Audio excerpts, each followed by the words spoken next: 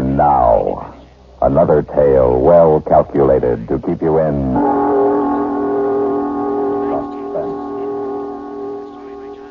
The time, Christmas 1958. The place, Korea.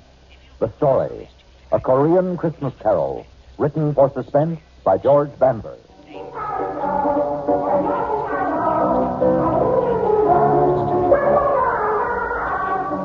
Sounds good, doesn't it?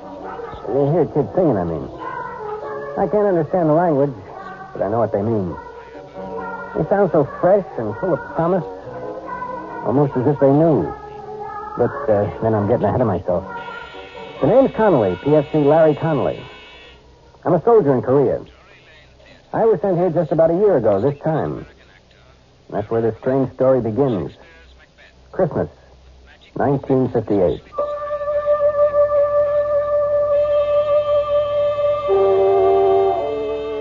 Christmas was for me that year miserable. I'd been stuck on guard the night before, and so I planned to stay in bed the next day and forget about Christmas. I hadn't counted on my first sergeant. Since I was the first man he came to in the barracks, it's only logical that I should be the man he picks to drive a truck all the way to Seoul back. It was night by the time I got on the road headed back from Seoul. It started to snow. Big flakes coming down soft at first, then so thick and fast I could hardly see.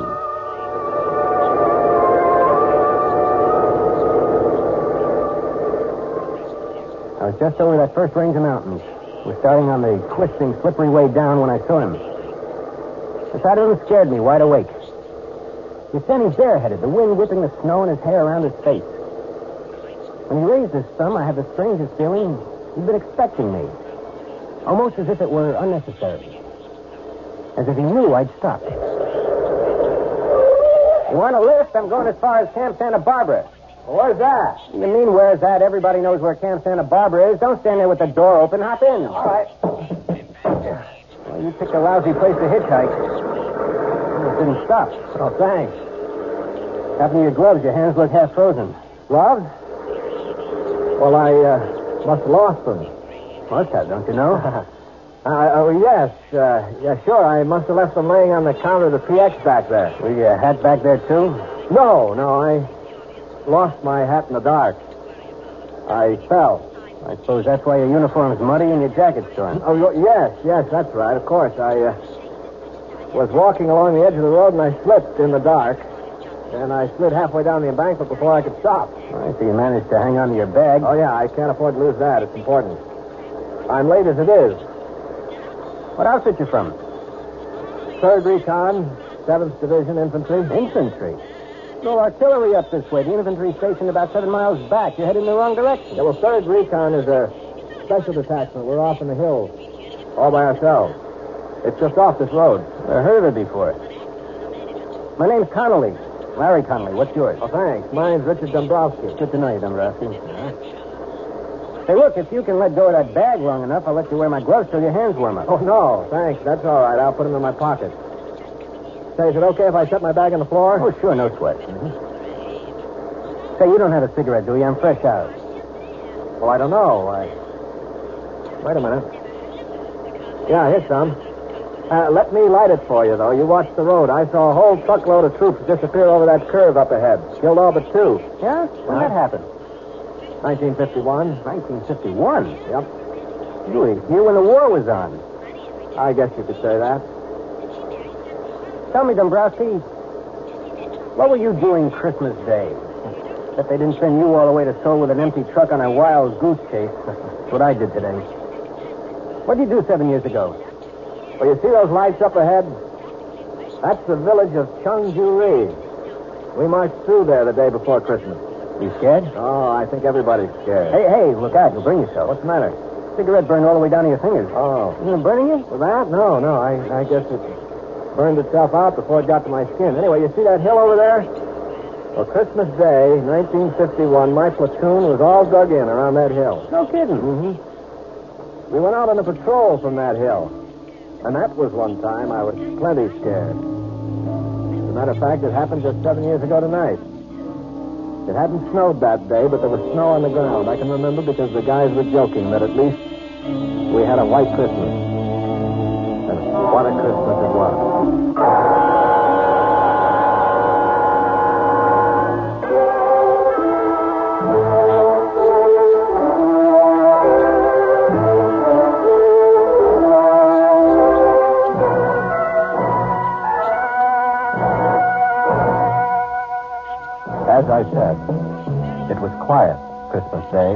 1951.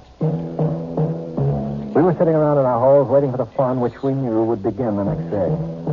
They'd managed to get hot turkey up to us, so we were relatively comfortable and happy until Brownie, our squad leader, came back from a talk with the old man. All right, I'll take the first five. The old man wants us to go out and have a look around. Come on, come on, knock it off. Get ready your dog tags and canteens. Anything that might rattle or make a noise. We won't be gone long, but we're moving light. Hey, Whitey, might as well leave your helmet here. We want to move quiet. But, Sarge, it's too cold to go out without a hat. Ah, shut the comedy, Walker. We moved out on schedule just as night was falling. And with the night came the cold. We moved rapidly along the valley for about an hour or so when Brownie stopped and raised his hand. All right, you men, hold it up. Once we get on the other side of that ridge up ahead, we'll observe maximum security. No talking, no lights. Keep down. And watch where you put your big clumsy feet. These people just love tripwires with flares attached. Walker, you still got the walkie-talkie? If I didn't, I wouldn't be here to tell you about it. Uh-huh. Still working? It's warm, if that's what you mean. That's more than I can say for myself. All right, keep it that way. We may need it if we run into trouble. Hey, while we're here, let's take one last check on your gear. Make sure your rifle bolts aren't frozen, weapons on safety, and all grenades are secure in their pins. Okay, everybody set? Let's move out.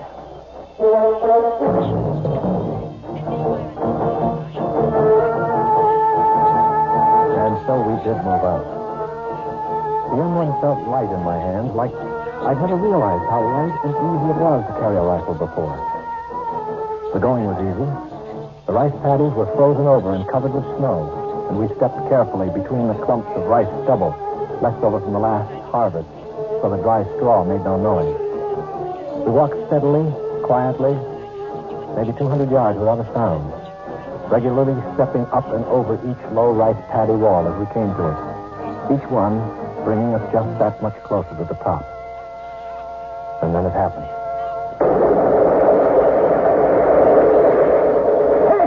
Down! Hit the torch! Get down! Somebody must have tripped the wire because suddenly the inky black was transformed into the merciless white of the operating table. Everything seemed stopped and slowed down, just like an old movie before the projector blows up.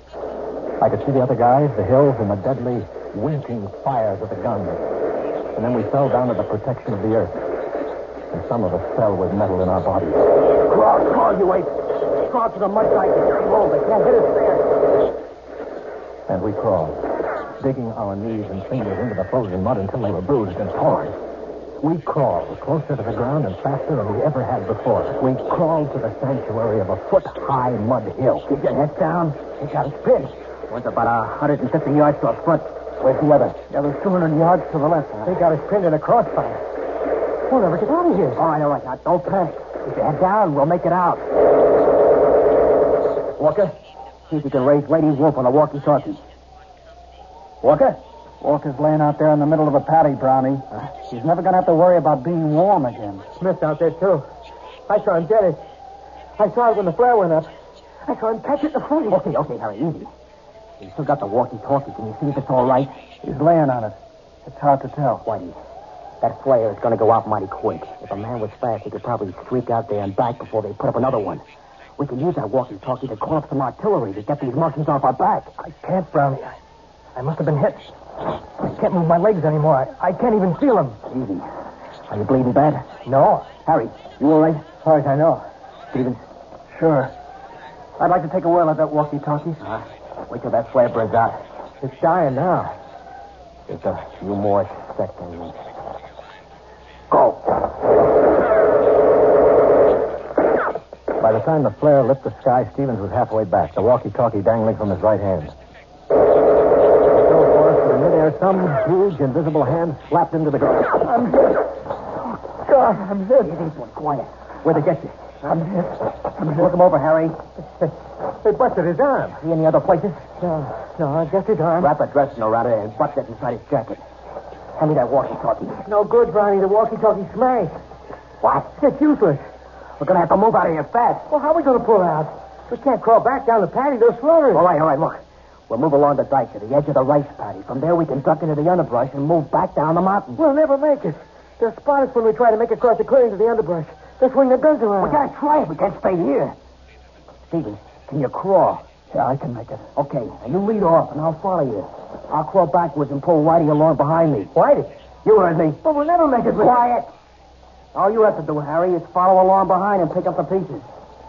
Take his weapon. It'll make him lighter. Keep your hands off me, Harry. Come on, Whitey. We haven't any time to fool around. I'm not fooling. I'm not going with you guys. Come on, you lost too much blood already. That's just it. Like you said, Brownie, it's only a matter of time. You can't get anywhere with me. You'll never even get past the clearing trying to drag me across. You're smart enough to know that, Brownie. It'll be tough enough, even with two good legs. We're not leaving you here. That's what I figured you would say, Brownie. I'm still in charge here. I figured you'd say that, too. Brownie, you see this grenade? It doesn't have any pin in it. The only thing that keeps the spring from kicking the clip off is my hand. Knock it out of here, Brownie, before I let it go. Oh, Why do you want me to let loose of this grenade? Now prop that BAR up in the dike in front of me. Scatter the clips so I can get at them. I'll wait until you guys get to the edge of the paddy before I open up. Look, look, baby. I'm still holding the grenade, Brownie. Time is running out. You're going to have to hurry. I feel like I want to fall asleep, and I don't know how much longer I can stay awake. Just wish me a, a very Merry Christmas and beat it. Merry Christmas, Whitey. All right, you guys, what are you waiting for? Let's move out.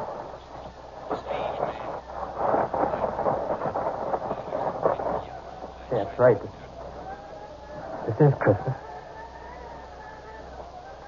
Oh, little town of Bethlehem, how still.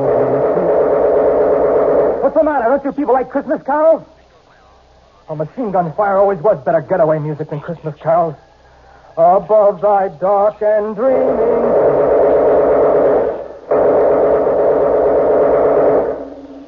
Whitey lay there until the others had crawled to the end of a low rice paddy wall. And then he threw his grenade. When it exploded, he opened up with the BAR, making enough noise to make the enemy think the patrol was launching an attack. Both machine gun nests zeroed in on him. But Whitey stayed well below the little mud wall of the rice paddy, humming his Christmas carol, loading the BAR with a fresh clip every time it went empty, and perhaps wondering briefly why he was going to die so far away from home. A little pond of frozen mud he didn't care about or even own. Still firing and singing. Even after the rest of the squad had escaped into the underbrush. And until either the machine gunners found their mark, or else he finally fell asleep.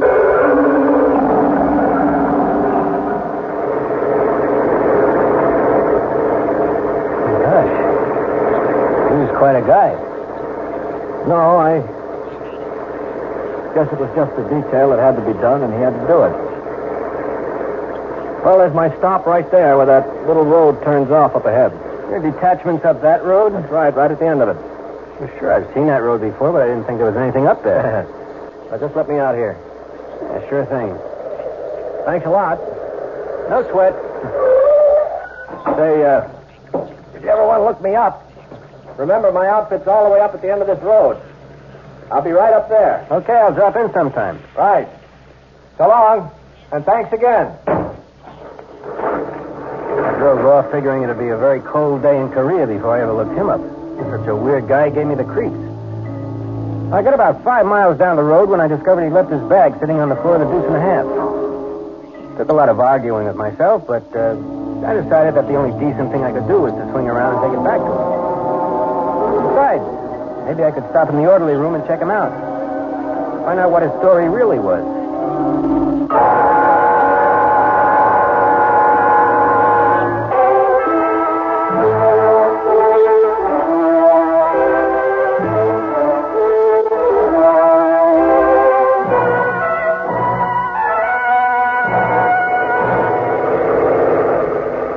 On the way back, I almost missed the road because it was so small and seldom used.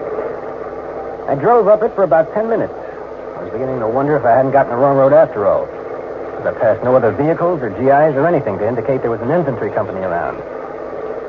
Just when I was ready to turn back to the main road, I saw lights twinkling up ahead from what looked like a couple of Quonsets. It seemed impossible that an infantry outfit could be housed in two Quonsets, but I pulled a deuce and a half to a hole outside the gate and cut off the motor. I picked up the AWOL bag, got out of the truck, trying to figure out which one was the orderly room. I walked across the hard-packed snow of the yard to the first Quonset. I still couldn't figure it out. Light and warmth seemed to pour from the windows along with the music I remembered from somewhere, but couldn't quite understand. I stepped up to the first window I came to and looked inside.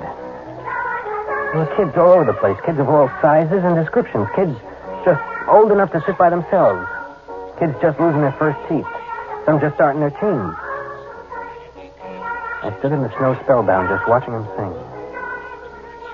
Finally, I tore myself away and headed for the front door, eager to be inside. A plaque made out of the howitzer shell stopped me. In the faint light, I could just barely make out the words engraved on the polished brass. But finally, I read it all. It said, This orphanage has been erected and maintained in the memory of Corporal Richard Whitey Dombrowski, who somewhere north of the village of Chungju-ri, Christmas night, 1951, willingly gave his life that others might live. Suddenly, I didn't know where I belonged anymore. The AWOL bag dragged at the end of my arm like a thousand pound weight. I could figure what was in it, but I tore it open anyway. The bag full of candy, soap, and toothpaste and gum shined up at me, looking as rich and rare as frankincense and myrrh. I closed the bag, laid it up against the door, close, so they wouldn't miss it. And then I banged on the door as loud and long as I could, until I was sure that they heard me. And then I ran. I ran back down the road to my truck as fast and as hard as I could.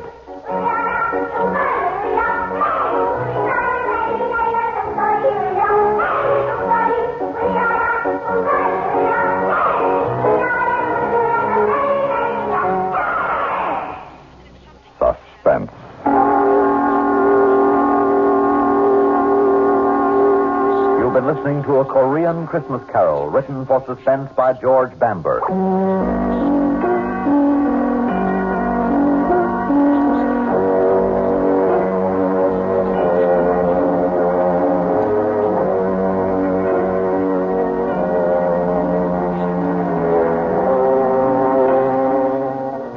Heard in tonight's story were Bill Lipton as Larry Connolly and Lyle Sudrow as Richard. Also heard were Larry Robinson, Lawson Zerbe, Bill Meader, Alan Manson, and Guy Repp.